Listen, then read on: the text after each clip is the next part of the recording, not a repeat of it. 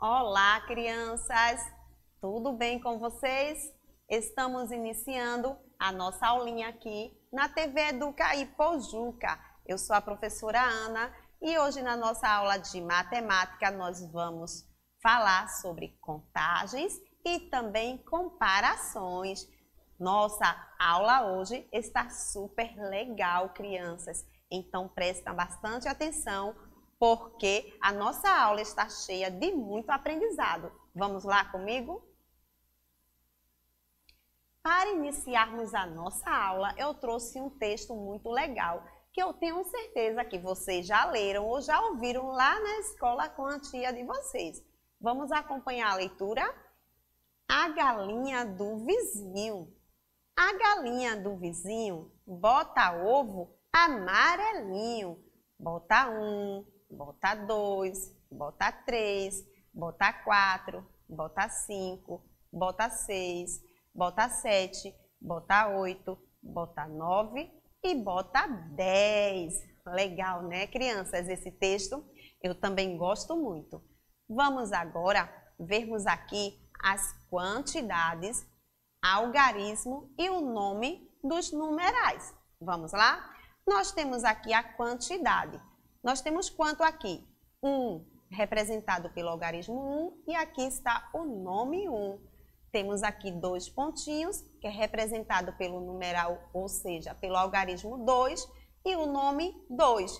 Temos aqui, ó, 3, representado pelo algarismo 3. E olha, crianças, como é que se escreve o, o algarismo 3. Olha como se escreve. Temos aqui 1, 2, 3, 4 representado pelo algarismo 4. E olha como se escreve. Presta atenção na escrita, tá, crianças? Temos aqui 1, 2, 3, 4, 5, representado pelo algarismo 5. E aqui nós temos a escrita. Então, crianças, continuando, nós temos aqui as quantidades, algarismo e o nome. Então, nós temos aqui 1, 2, 3, 4, 5, 6, 7, né, a quantidade 7 representado pelo algarismo 7. E aqui está a escrita, o nome. Aqui nós temos quantos pontinhos? Temos 1, 2, 3, 4, 5, 6, 7, 8, que é representado pelo algarismo 8. E temos aqui o nome 8. Temos aqui, então, 1, 2, 3, 4, 5, 6, 7, 8, 9 que é representado pelo algarismo 9, e aqui temos o nome do algarismo 9. Ok, crianças? Bom, como nós sabemos, vocês já sabem contar, não é verdade? E quantos anos vocês têm, crianças? Vocês sabem a idade de vocês? Vocês têm irmãos? Sim ou não? Se vocês têm irmãos, quantos irmãos vocês têm? Quem tem mais irmãos? A professora aqui tem dois irmãos. E vocês? Tem quantos irmãos? Será que vocês têm mais irmãos do que a professora?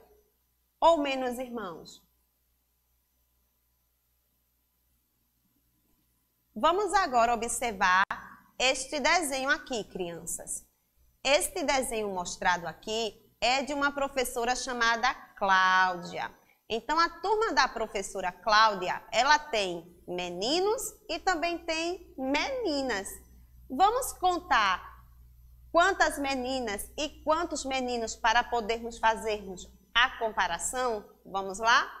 Vamos iniciar, então, com as meninas. Uma, duas, três, quatro, cinco, seis, sete, oito, nove, dez, onze, doze, treze meninas. Agora vamos contar para sabermos quantos meninos. Um, dois, três, quatro, cinco, seis, sete, oito, nove, dez, onze, doze. Nós temos 13 meninas e 12 meninos. E aí, crianças, tem mais meninas ou mais meninos? Conseguiram? Se vocês responderam que a professora Cláudia tem mais meninas, vocês acertaram. Vamos agora para mais um exemplo. Diego, Eduardo e Gabriel, eles possuem as seguintes coleções cada um. Então vejam aí, Diego ele tem esta coleção aqui de carros, Eduardo e Gabriel. Quantos carros tem Diego? Vamos contar? Um, dois, três, quatro, cinco, seis, sete, oito. E Eduardo, quantos carros? Um, dois, três, quatro, cinco, seis. E Gabriel? Vamos contar com a professora?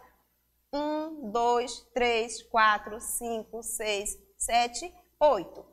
Gabriel tem a mesma quantidade que Diego, certo? E Eduardo tem a quantidade menor. Agora me responda: quantos carros vermelhos Diego tem? Vamos contar? Um, dois, três, quatro, cinco. E Eduardo tem quantos carros vermelhos? Um, dois, três carros vermelhos. E Gabriel tem um, dois, três, quatro. Quem é que tem a quantidade maior de carros vermelhos? É Diego, Eduardo ou Gabriel? E aí, crianças, se vocês responderam que é Diego, ele tem a quantidade maior, vocês acertaram, porque ele tem cinco carros vermelhos, Eduardo tem três carros vermelhos e Gabriel tem apenas quatro carros vermelhos. Ok, crianças? Ainda com o mesmo exemplo né, do carro das crianças, quem possui a coleção maior? Vocês lembram? Quem é que possui a coleção maior? Vamos voltar lá na imagem? Quem é que possui a coleção maior de carros? Gabriel e Diego possuem a mesma quantidade. Não é isso, crianças?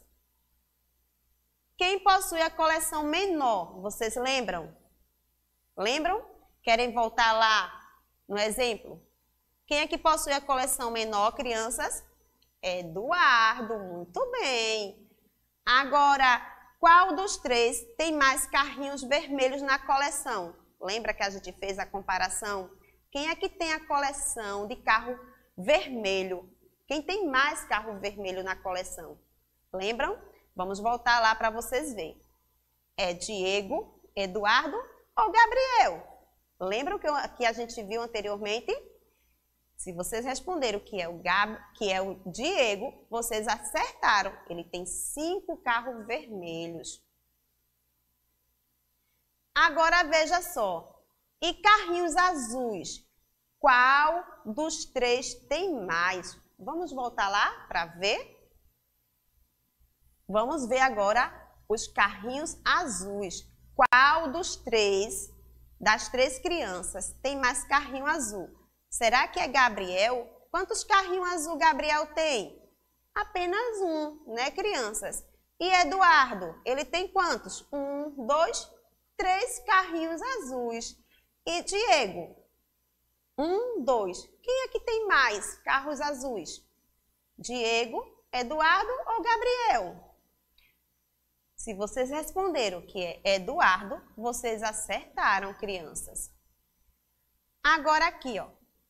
Vamos completar a tabela com a quantidade total de carrinhos, né? Ao todo, nós temos quantos carrinhos vermelhos, quantos carrinhos azuis e quantos carrinhos verde.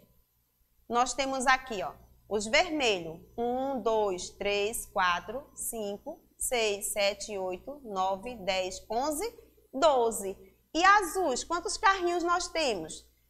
1, 2, 3, 4, 5, 6 carrinhos azuis.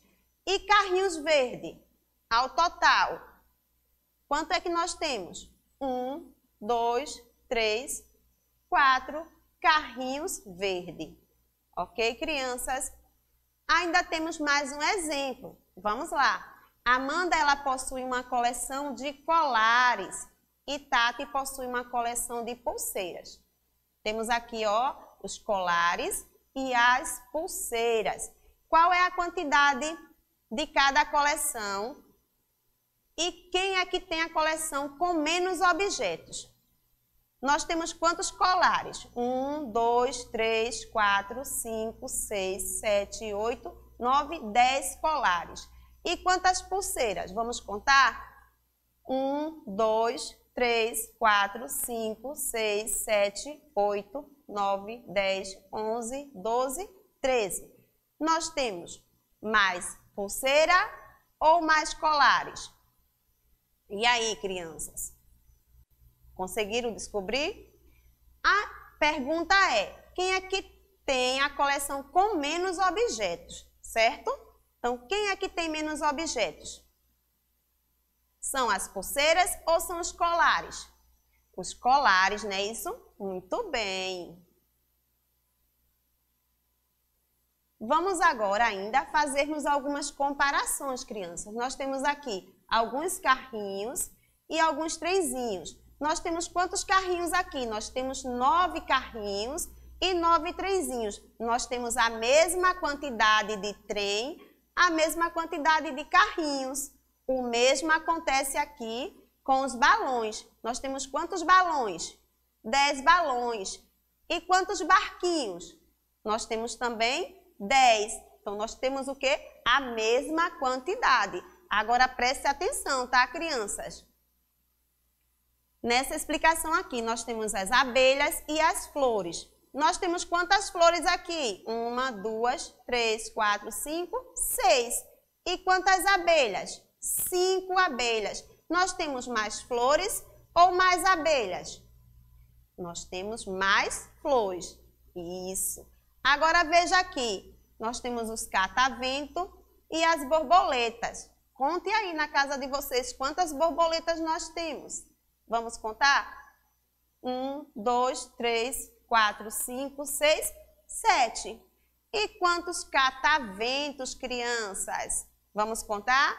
Um, dois, três, quatro, cinco, seis, sete, oito. Nós temos menos borboletas e mais cataventos ou mais cataventos e menos borboletas?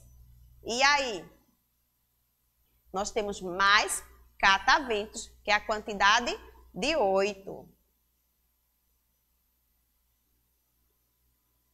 Então, crianças, vamos continuar fazendo as nossas comparações. Nós temos aqui algumas acerolas e algumas bananas. Nós temos aqui o total de 16 acerolas e de 15 bananas. Qual é o número maior? É 16 ou 15? E aí, crianças?